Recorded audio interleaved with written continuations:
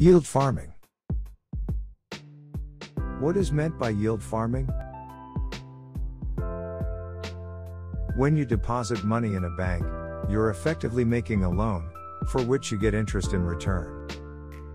Likewise, in crypto, yield farming is also known as yield or liquidity harvesting, involves lending cryptocurrency.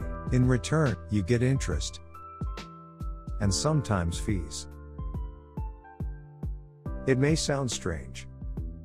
Yield farming is the practice of staking or lending crypto assets in order to generate high returns or rewards in the form of additional cryptocurrency. In short, yield farming protocols incentivize liquidity providers to stake or lock up their crypto assets in a smart contract based liquidity pool. Most yield farmers staked well known stable coins, USDT, DAI, and USDC. You can make use of Silverline Swap to do this on your own. Silverline, your global crypto identity.